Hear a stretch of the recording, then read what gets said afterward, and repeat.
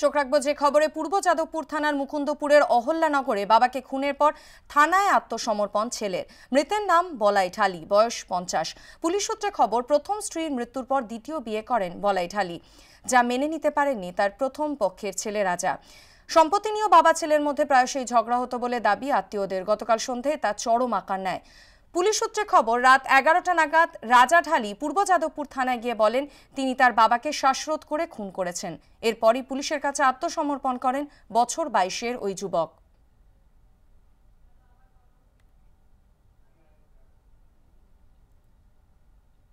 আপনাদের আরও একবার জানিয়ে রাখি, পূর্ব যাদবপুর থানার মুকুন্দপুরের অহল্যানগরে বাবাকে খুনের পর থানায় আত্মসমর্পণ, ছেলে।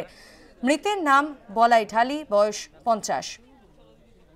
পুলিশ সূত্রে খবর, প্রথম স্ত্রীর মৃত্যুর পর দ্বিতীয় বিয়ে করেন বলাই ঢালি, যা মেনে নিতে পারেননি তার প্রথম পক্ষের ছেলে রাজা। সম্পত্তি নিয়েও বাবা ছেলের মধ্যে প্রায়শই ঝগড়া হতো বলে দাবি আত্মীয়দের। গতকাল সন্ধে তা চরম আকার নেয়। পুলিশ সূত্রে যা জানা যাচ্ছে, রাত এগারোটা নাগাদ রাজা ঢালি পূর্ব যাদবপুর থানায় গিয়ে বলেন, তিনি তার বাবাকে শ্বাসরোধ করে খুন করেছেন। এরপরই পুলিশের কাছে আত্মসমর্পণ করেন বছর বাইশের ওই যুবক। এ বিষয়ে বিস্তারিত জানব, সরাসরি কথা বলে নেব আমাদের প্রতিনিধি আবির দত্তর সঙ্গে। আবির, ঠিক কি কারণে এই মর্মান্তিক একটা পরিণতি? পুলিশ সূত্রে কি জানতে পারছ?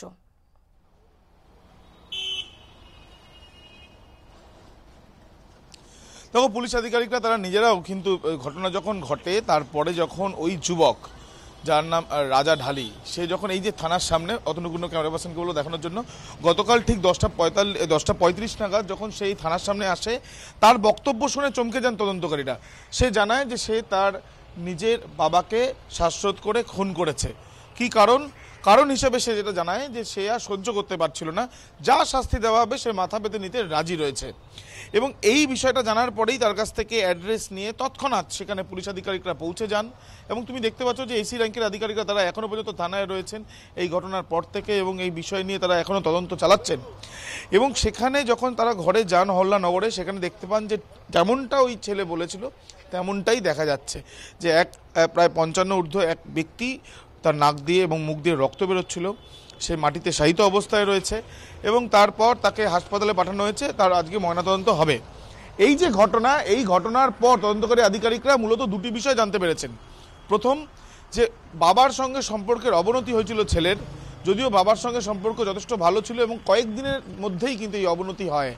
তার কারণ, বাবার দ্বিতীয় পক্ষের যে স্ত্রী তাকে মেনে নিতে পারছিল না তার ছেলে। এবং সেই জন্য তার সঙ্গে বাবার সঙ্গে বারবার করে বচসা, যেটা এলাকার বাসিন্দারাও শুনেছেন, পাশের বাড়ির যারা বাসিন্দারা তারাও অব্দি শুনেছেন। এরকম বেশ কয়েকদিন ধরে এই ঝামেলা চলছিল। দ্বিতীয়ত, জায়গা জমি নিয়েও একটা বাবার সঙ্গে ছেলের একটা টাসেল চলছিল বা একটা ছেলের সঙ্গে একটা সমস্যা চলছিল এমনটাও জানা গিয়েছে।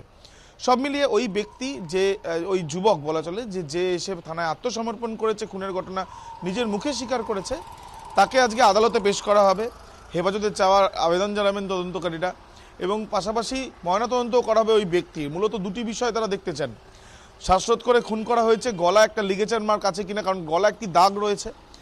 এবং তার সঙ্গে তদন্তকারী আধিকারিকরা এটা দেখতে চান যে মুখ দিয়ে রক্ত বেরিয়েছে, শুধুমাত্র শ্বাসরোধ করার জন্যই কি রক্ত বেরিয়েছে, নাকি শ্বাসরোধ করার আগে পিটি প্রথমে পেটানো হয় এবং তারপরে খুন করা হয়েছে শ্বাসরোধ করে।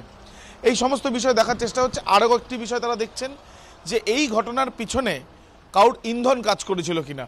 সব মিলিয়ে এই ঘটনা ইতিমধ্যে যে প্রাইম অ্যাকিউজড বা যেই ঘটনা ঘটিয়েছে সে তার স্বীকারোক্তির জন্য, তার আত্মসমর্পণের জন্য তাকে ইতিমধ্যে গ্রেপ্তার করা হয়েছে, তাকে আজকে আদালতে পেশ করা হবে। ধন্যবাদ, আবির।